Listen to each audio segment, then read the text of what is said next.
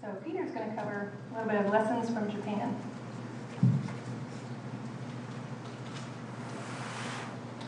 Okay, so how many of you were here in Warrenton about two years ago when Japan's earthquake happened? Okay.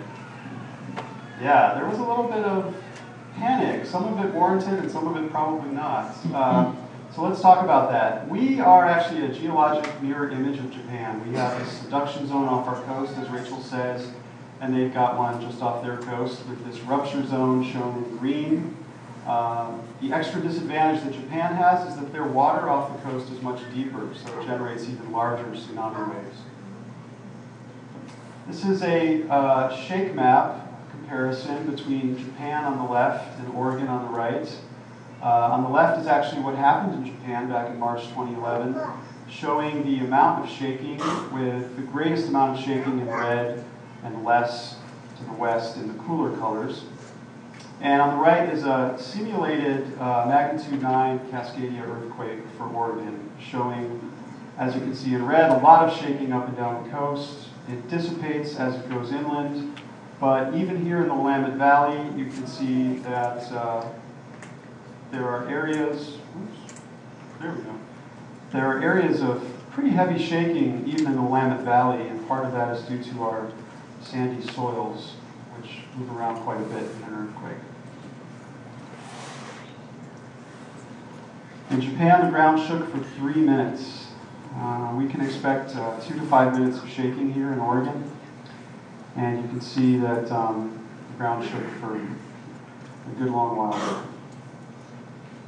This is a neat image from NOAA of the Pacific Ocean showing the energy released by that tsunami in Japan with the greatest amount of energy in the dark purples here and spreading across the Pacific with its tentacles of tsunami waves and this is interesting, huh? Poor Crescent City, California, because of the shape of the ocean floor, they typically get these bigger tsunamis. This is an image uh, in Japan. You can see one of the river valleys and how tsunami waves really travel far up these valleys, which means that rivers, creeks, and sloughs are danger zones. It's not just the beaches. Um, the tsunami will really just follow the path of least resistance, and you can see that here with all the damage. What's on top of the building? That's a boat. And I've seen photos of even larger boats, uh, ships really, that came inland with the tsunami surges. And I say surges because the tsunami is not one wave, but a series of waves, right? That's right. In Japan, their defenses failed. They had uh, pine forests planted, they had seawalls, which were overtopped infrastructure failed. In some areas, the waves uh, reached about 40 feet, even higher in other areas.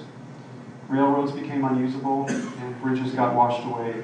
We have a lot of bridges in Oregon that we can expect to um, either collapse or not be safe to drive over after the Cascadia earthquake. That's why we tell folks to practice their evacuation route on foot.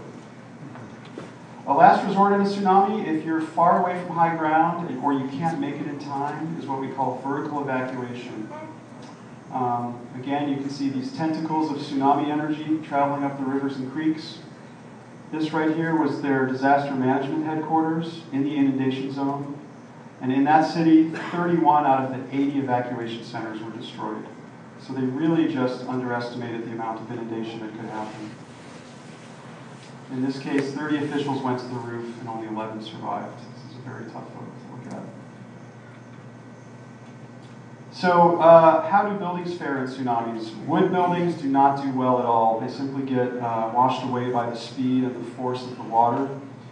Um, but concrete, uh, reinforced concrete buildings do much better, but not in every case. You can see here just a wasteland of tsunami destruction with uh, some concrete buildings still standing and others just pushed right over. So debris is really the killer, right? We're not talking just about a flooding event. A tsunami is actually this huge uh, set of energy carrying pieces of houses, carrying cars, carrying ships and boats. Um, a lot of debris. How many of you, when it was playing up here in Seaside, saw the Hollywood film called The Impossible? Anybody? Just one or two. Okay. This was an Oscar-nominated film about the family in Southeast Asia back in 2004 who survived the tsunami there that took 230,000 lives. And it's really an amazing film because it follows mostly the story of the mother who got caught up in the tsunami with her son and how she was injured so badly by this debris and finally made her way to a hospital and was treated and survived. This is an aerial image of Sendai, Japan before the tsunami with farmland at the west and buildings and forest areas to the right and after the tsunami. So we have a, a, terrific little newsletter called Cascadia on the back table there. It has more information, um, a lot of good science information and anecdotal information about the tsunami and earthquake in Japan. You can pick one up and read a little bit more about it. So in Oregon, we can expect something very similar to what Japan saw.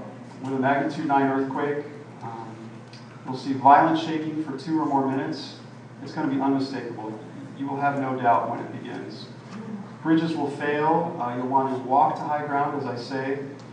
And 15 to 30 minutes after the earthquake is the first series of waves coming on shore, depending where you are.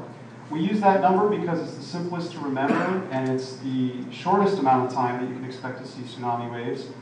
But there are parts of the coast, and we'll talk about this more, say river towns that are farther upriver, or Astoria, which is around the bend of the Columbia there, which have a little more time tsunami has to wrap around those bays and estuaries and work its way up. Tsunami waves will continue for at least four hours, but we tell folks to stay on high ground and wait for uh, a signal for local emergency officials before going back into the inundation zone. Because again, multiple series of waves, and the first may not be the biggest. So to learn these tough lessons from Japan, which is really a gift to us, um, since it happened so recently and it's still fresh in our minds somewhat, you really want to prepare an evacuation plan and your bag of emergency supplies, your grab-and-go kit. When the ground shakes, get to high ground as quick as you can on foot.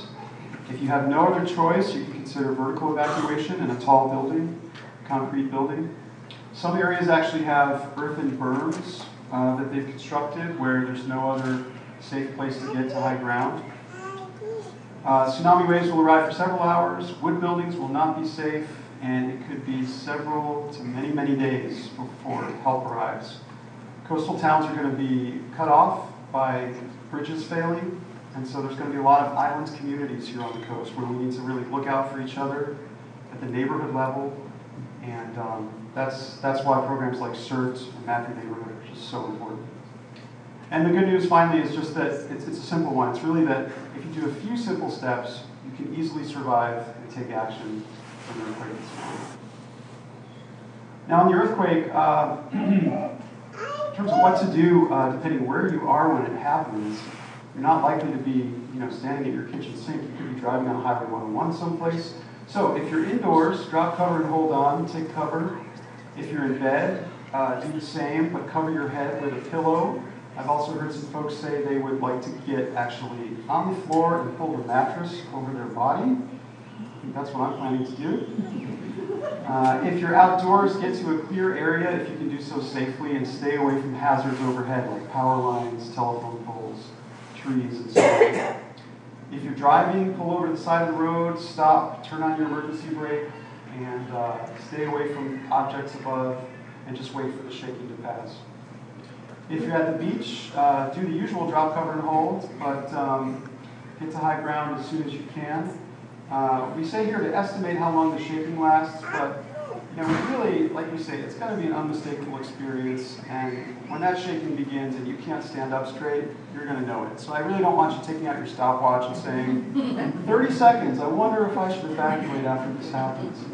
Yeah, just, it'll be unmistakable. And for folks who may have moved here from California, earthquakes are bigger, I need to tell you. And if you're in a high-rise building, stay away from those uh, walls of glass windows. So this is an image we show just to try to get a, a, graphic in your minds about the difference between a local and a distant tsunami. At the top, you can see the local tsunami again, generated by that energy right off our coast. The response is to drop cover, hold on, and get to high ground. And for a distant, across the Pacific, it's a very different response. We have uh, a lot more time to prepare. And the next slide kind of tells you how to do that.